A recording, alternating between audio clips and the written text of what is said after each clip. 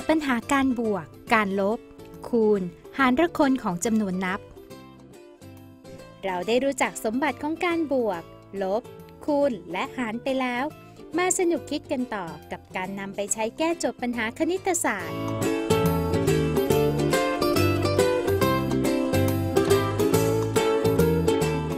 นักเรียนทั้งหมดทำความเคารพสวัสดีค่ะ สวัสดีค่ะ นักเรียนทุกคน วันนี้ครูมีสินค้ามากมายเลยนะคะ ติดอยู่บนกระดานเต็มไปหมดเลย ชั่วโมงพิเศษสมมุติว่าเราไปช้อปปิ้งที่ห้างสรรพสินค้าแล้วก็แล้วกัน ชั่วโมงพิเศษสำหรับลูกค้าที่มาอุดหนุน จะให้ซื้อเลือกซื้อสินค้า 3 ชนิด แล้วรวมกันแล้วมีราคาใกล้เคียงกับที่ครูจะบอกแต่ละรอบไป ใครที่ใกล้เคียงที่สุด ถือว่าชนะ แต่ว่า จะหาคนสัก 3 คนนะ วิธีการก็คือสมมุติว่านักเรียนเลือกอแบตไม้แบต800 บาท เลือกลูกฟุตบอล 160 บาท เลือกสตรอเบอรี่220 บาท นักเรียนต้องเขียนว่าบรรทัดที่ 1 แบดมินตัน800 บรรทัดที่2อ่าฟุตบอล 160 บรรทัดที่ 3 สตรอเบอรี่220 แล้วก็บวกกันออกมา แล้วใกล้เคียง จำนวนที่ครูจะกำหนดให้มากที่สุด อย่างเช่น ครูอาจจะบอกว่าให้หาสินค้า 3 ชิ้นที่มีราคาใกล้เคียง 1,000 บาทมากที่สุด ก็เลือกเอา 3 ชิ้นแล้วรวมออกมา คนไหนทำเสร็จก่อน ครบ 3บรรทัดก่อน วิ่งออกมาเลย ส่งอาจารย์ลุงอรุณ แล้ว 3 คนปุ๊บ หยุด แล้วจะตรวจทีละคนใครใกล้สุดคนนั้นชนะ แต่ว่ามีเวลาจำกัดนิดนึง ครูจะนับแค่ 10 ออกมาดูพร้อมกัน แล้วกลับเข้าไป แล้วเขียนเลยสินค้า 3 ชิ้น ที่มีราคาใกล้เคียงจำนวน 500 บาทมากที่สุดเชิญค่ะ10เ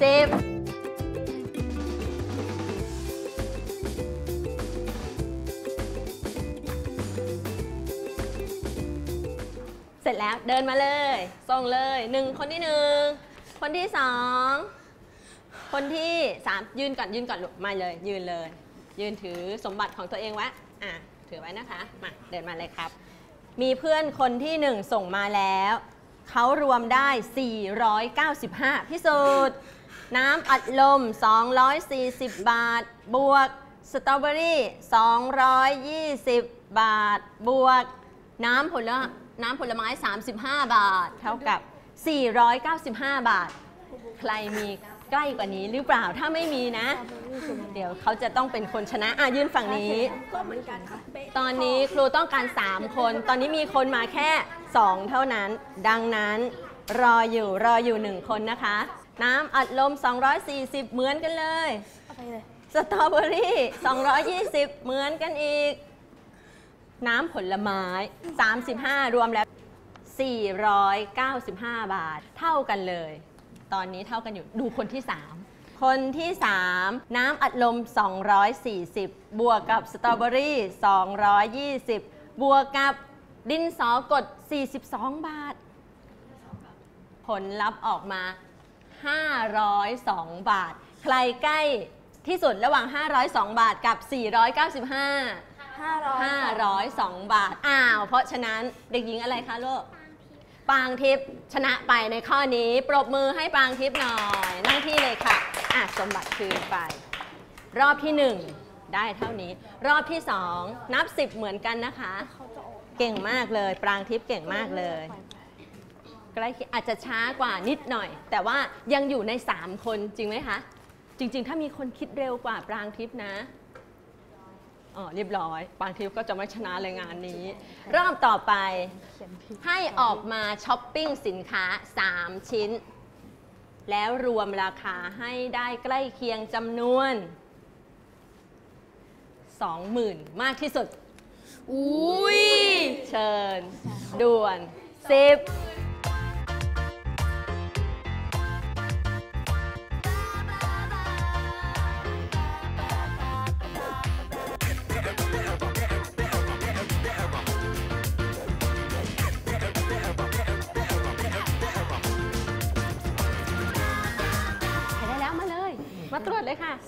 อุ้ยสองหมื่นหกร้อยคนที่หนึ่งมาแล้ว โบนัสมาโดยเป็นราคา กล้อง อยากรู้นาฬิกา9,400 เท่าไหร่ 9,400 คนที่ 2 มาแล้วนะคะ บวกกับจักรยาน 9,400 บวกกับนาฬิกา 5,200 เท่ากับตอนแรกเอาเรียบ24,000ตอนนี้คนที่ 1 ได้ 24,000อะยืนรอไว้ก่อน ครบ 3 แล้วค่ะ นั่งรอเลย เอาแค่ 3 คนเท่านั้น ยังไม่ได้รวม จักรยาน สตรอเบอรี่อะฟังของเพื่อนนะ จักรยาน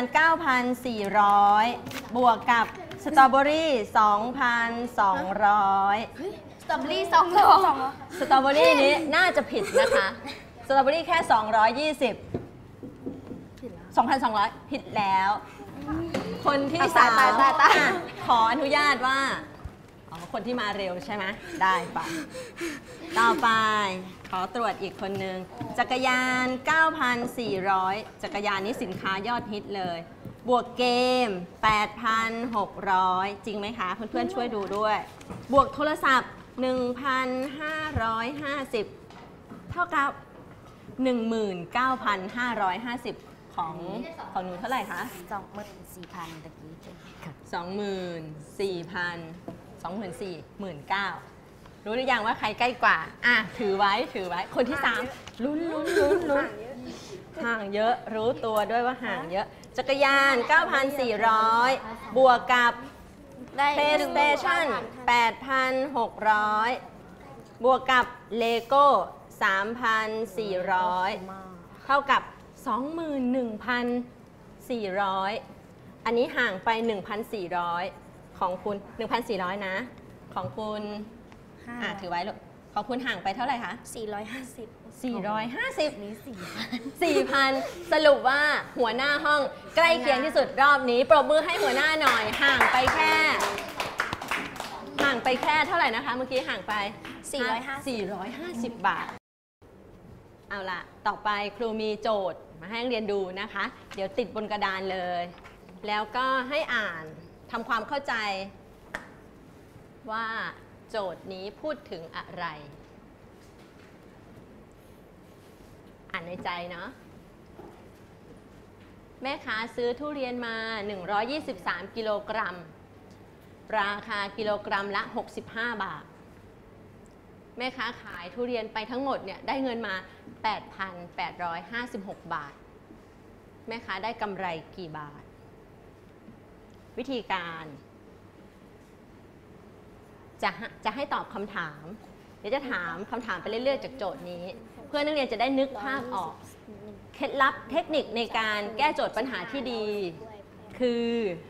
นักเรียนจะต้องนึกภาพให้ออก ว่าในโจทย์พูดถึงใคร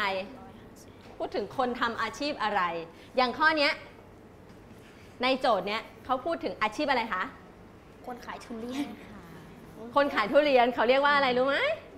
แม่แม่ค้าแม่ค้าขายผลไม้ แม่ค้าขายทุเรียน นึกภาพแม่ค้าขายทุเรียนให้ออก จริงๆจะนึกภาพทุเรียนให้ออกด้วยเก้าร้อยเก้าสิบแม่ค้านั่งขายทุเรียน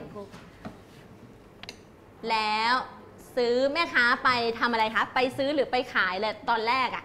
ไปซื้อไปซื้อทุเรียนมาหรือว่านั่งขายทุเรียนอยู่ ซื้อไปซื้อทุเรียนมาเยอะไหมคะ ซื้อมาเยอะไหมเยอะตั้ง 123 กิโลเนาะ ราคากิโลกรัมละ 65 บาท ต้องคิดแล้วโอ้โหแม่ค้าต้องจ่ายเงินไปเท่าไหร่เนี่ยในการที่ไปซื้อทุเรียนมา พอซื้อมาจ่ายเงินไปแล้วเรียบร้อย นึกภาพตามนะ จ่ายเงินไปแล้วเรียบร้อยแม่ค้าก็ต้องนำทุเรียนทั้งหมดไปไหนคะไปค่ะเออไปขายไม่ทานเองหรอกเอาไปขาย เพราะไปซื้อมาแล้วจะไปขายต่อนึกภาพตามนะพอเอาไปขายได้เงินมาตั้ง 8,000 กว่าบาท 8,856 บาท ตามขั้นตอนไปซื้อมานำไปขาย นักเรียนสามารถวาดรูปออกมาได้ไหมคะ ไม่ต้องวาดสวย ในรูปอาจจะต้องมีตัวเลขด้วยภาษาอธิบายลูกศรทำยังไงก็ได้ ไม่มีผิดไม่มีถูกตามความถนัดของแต่ละคนไหน แต่ละคนลองวาดรูปออกมาว่า เหตุการณ์ทั้งหมดเนี่ยเกิดขึ้นมีอะไรบ้าง ใครทำอะไร ที่ไหนยังไงอะลองรูปแรกใครจะวาดอะไรคะ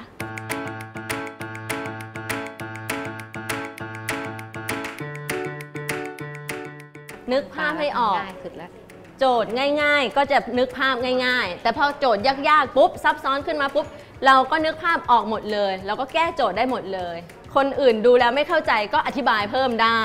อยากรู้จังเลยว่าแม่ค้าเนี่ยจ่ายเงินค่าทุเรียนไปทั้งหมดกี่บาท เขียนลงไปด้วย กิโลละ 65 บาททั้งหมด 123 กิโลกรัมเลย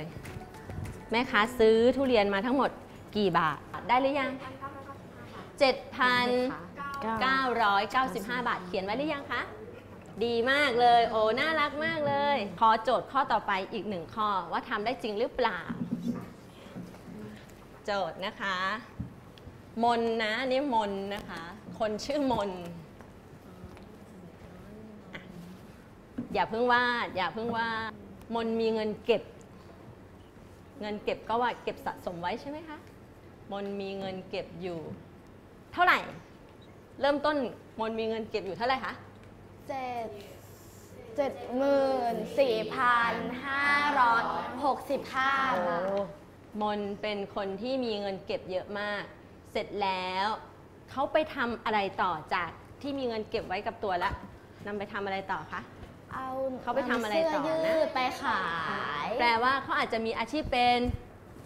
ขายของคนขายของพ่อค้าใช่ไหมคะ ตอนนี้แหละได้เป็นพ่อค้าแล้วสลับแล้วนำเสื้อยืดไปขายจำนวนกี่ตัวคะ หกสิบห้านึกภาพมนให้ออกมนในแต่ละคนจะไม่เหมือนกัน มนของแต่ละคนหล่อไม่เท่ากัน แต่ว่ามนเนี่ยจะต้องนำเสื้อ 65 ตัว ไปทำอะไรคะ ไป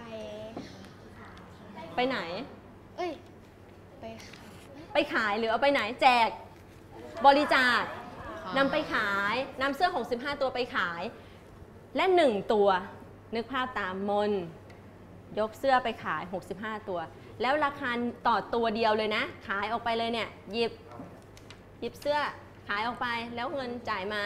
เสื้อ1ตัวราคากี่บาท 199 บาท ถ้ามนขายเสื้อได้ตั้ง 65 ตัว เงินมันจะเป็นจำนวนที่มากขึ้น หรือมันจะน้อยลง มากมากขึ้นแน่ๆ แล้วคิดยังไงอะ199 บาทต่อหนึ่งตัว ทั้งหมด 65 ตัวทำยังไงดีเอาไปคูณคูณกันใช่ไหม คงไม่มีใครไปบวกทีละ 199 199 199 65 ครั้ง เรารู้ว่าบวกทีละ 169 65 ครั้งมันก็คือเอา 65 คูณกับ 199 ก็คิดคำนวณตัวนี้ออกมา ก็ได้เงินมาอีก เพิ่มขึ้นอีก เดิมมนมีเงินเก็บเท่านี้ไปขายเสื้อได้เงินมาอีก มนได้เงินเพิ่มหรือเงินลดลง ได้เงินเพิ่มได้เงินเพิ่มขึ้น เสร็จแล้วนำเงินทั้งหมด เอาไปเก็บไว้ใช่หรือไม่ เอาเงินไปไหนคะ เงินทั้งหมด ไปซื้อกางเกงนำไปซื้อกางเกง กี่ตัวไม่รู้ แต่ว่าตัวหนึ่งเนี่ยราคา 250 บาท เขาจะซื้อตัวเดียวไหมคะ ไม่ ไม่ซื้อหลายตัวแน่ๆ ตอนนี้มันจะเริ่มได้คำตอบแล้ว เริ่มวาดรูปตั้งแต่เริ่มต้น เดี๋ยวมันจะได้คำตอบตอนสุดท้าย เริ่มมนก่อน อะมนของแต่ละคนเป็นยังไง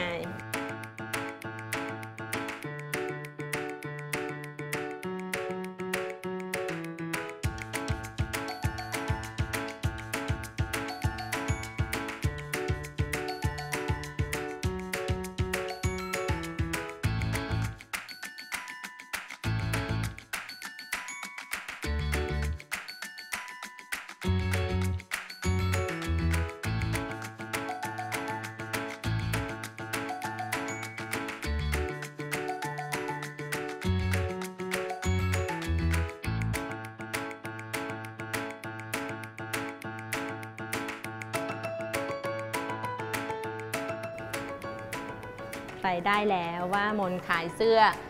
65 ตัว ราคาตัวละ 199 บาท เป็นเงินเท่าไหร่ ได้เท่าไหร่คะ 12,935 บาท ถูกต้อง ต่อไปนำเงินทั้งหมด เอ๊ะเงินทั้งหมดในที่นี้ คือเงินเฉพาะ 74,000นี้ หรือเงินเฉพาะที่เขาขายเสื้อได้คะหรือว่าจะต้องเอาเงินสองอย่างนี้มา มาทำยังไงกันก่อน เงินสองอย่างนี้ บวกกันเก่งมาก เงินหนึ่งเงิน 74,565 บาทที่เขาเก็บไว้กับเขาไปขายเสื้อมาได้อีก 12,935 บาท ใครได้แล้วตอนนี้มนมีเงินเท่าไหร่ก่อนที่จะนำไปซื้อกางเกง ได้เท่าไหร่คะลูก บอกดัง ๆ เลย 87,500 หรือเปล่าคะ 87,500 ถูกต้อง 87,500 บาท อุ้ยได้ อันนี้คือเงินทั้งหมดที่มนมีอยู่ตอนนี้ ทั้งเงินเก็บและทั้งเงินที่ไปขายเสื้อมา เสร็จแล้ว พ่อค้าไงแค่นี้ไม่พอ โลบจะต้องไปทำอะไรให้มันงอกเงยต่อ เงินจะต้องได้มากขึ้นกว่านี้นำไปทำอะไรต่อคะนำไปทำทำอะไรต่อคะลูกครับ นำไปซื้ออะไรคะซื้อกางเกงครับซื้อกางเกงต่อ ไปซื้อกางเกง ราคาตัวละ 250 บาท อยากรู้ว่ามันจะได้ทั้งหมดกี่ตัวทำยังไงอะทำยังไงคะลูกทำยังไงคะ นำเงินทั้งหมดใช่ไหมแปดหมื่นเจ็ดพันห้าร้อยเงินทั้งหมดไปหารกับ 250 บาท ไปหารด้วย 250 ซึ่งเป็นราคากางเกง ก็จะได้จำนวนกางเกงออกมาหารเลย ตั้งหารเลยอะใครหารได้แล้วเรียบร้อย 350 ตัวหรือเปล่าคะ 350 ตัวหรือเปล่าคะถ้าไม่มีคำว่าหรือเปล่าคะนี่จะแบบโอ้เก่งมากเลย ถูกต้อง 350 ตัวค่ะ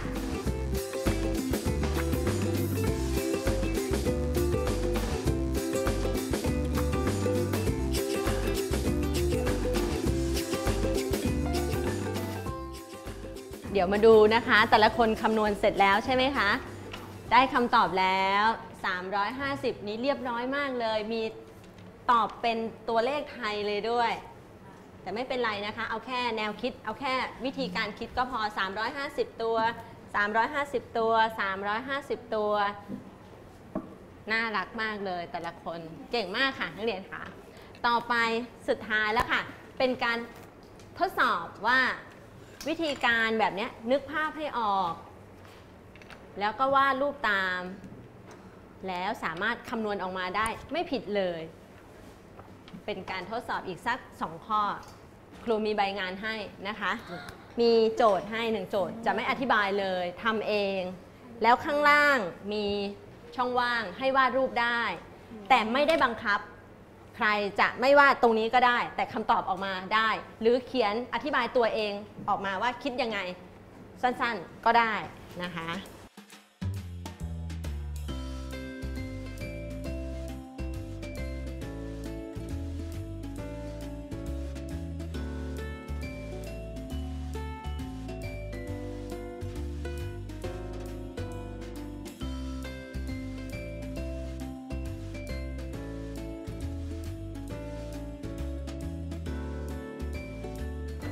ตอนนี้เสร็จหมดทุกคนแล้วนะคะคำนวณได้ครบทั้งสองข้อแล้ว ใครทำข้อที่เป็นป่าไม้บ้าง มีไหมคะอ่าไม่มีใครเลือกทำข้อป่าไม้ไม่เป็นไร แสดงว่าทุกคนทำข้อที่เป็นสหกรณ์ที่เป็นขายเสื้อผ้า สหกรณ์ขายเสื้อผ้าคำตอบเป็นเท่าไหร่ตอบพร้อมกันได้ไหมคะได้หนึ่งสองสามสามแสนสามหมื่นหกพันหนึ่งร้อยห้าสิบ บาทบาทใช่ไหมบวกขายได้เป็นบาทใช่ไหมคะเก่งมากเลย ทุกคนคำนวณเก่งมากเลย ขอชื่นชมนะคะวาดรูปก็สวยวาดรูปรู้เรื่อง ไม่ใช่สวยอย่างเดียวคือเป็นขั้นเป็นตอน เป็นตามระบบที่เรานึกภาพแล้วก็วาดตามเก่งมาก เดี๋ยวนักเรียนเอาไปใช้กับโจทย์ข้อที่มันยากๆนะคะ พอพอนักเรียนเจอโจทย์ที่มันยากๆเนี่ยทั้งเรียนนึกภาพให้ออก รู้ถุงเท้า เขาพูดถึงถุงเท้า นักเรียนนึกถุงเท้าออก เขาพูดถึงแม่ค้าขายเงาะ ก็นึกถึงแม่ค้าขายเงาะออก แล้วจะนึกตามเหตุการณ์ไปได้ โจทย์เขาบอกว่าอะไรนึกตาม แล้วก็วาดออกมากันลืม แล้วสุดท้ายเราจะเข้าใจ โจทย์มันจะซับซ้อนแค่ไหน นักเรียนก็จะสามารถทำได้โดยใช้รูปมาช่วย ยิ่งใครที่วาดรูปเก่งอยู่แล้ว ยิ่งได้เปรียบ แต่ว่าวาดไม่เก่งก็ไม่เป็นไร เราเข้าใจของเราเอง แล้วก็นำไปเขียนเป็นเป็น ข้อความแล้วก็ได้คำตอบออกมา วันนี้เก่งมากทุกคนขอบคุณนะคะ ตั้งใจเรียนดีมากอ่าหัวหน้าบอกค่ะ นักเรียนทั้งหมดทำความเคารพขอบคุณค่ะ สวัสดีค่ะทุกคนค่ะ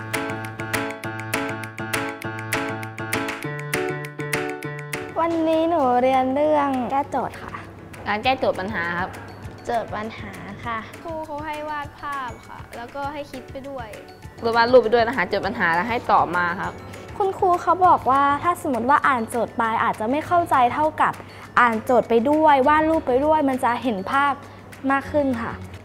อันนี้คือโจทย์ปัญหาที่คุณครูให้มา แล้วก็ตรงกับที่หนูเรียนข้างบนห้อง แต่โจทย์นี้จะเข้าใจได้ง่ายกว่า ที่เข้าใจได้ง่ายกว่าก็คือ มีการวาดรูปประกอบแล้วก็เขียนไปด้วย เพราะว่ารูปแล้วเขียนไปด้วยมันจะเข้าใจมากขึ้นครับเพราะว่ามันสนุกดีค่ะ วันนี้น้องพิงชอบตอนไปช้อปปิ้งค่ะ ชอบค่ะ เพราะว่าอืมมันมีมันมีของเยอะมันน่าตื่นเต้นค่ะ เขาให้เดินออกไปซื้อของแล้วให้บวกเลขให้เท่ากับจำนวนที่กำหนดไว้ให้ครับโจทย์ปัญหาอันนี้ถ้าเราทำเลขหรือโจทย์ปัญหาที่ไม่เข้าใจ เราสามารถวาดรูปและประกอบ แล้วก็เขียนไปด้วย แล้วเราก็พูดไปด้วยค่ะ อาจจะทำให้เข้าใจมากขึ้นกว่าที่เราวาดรูปเฉยๆ เราต้องพูดออกมา การพูดออกมาแล้ววาดไปด้วยทำให้เราเข้าใจยิ่งขึ้นค่ะ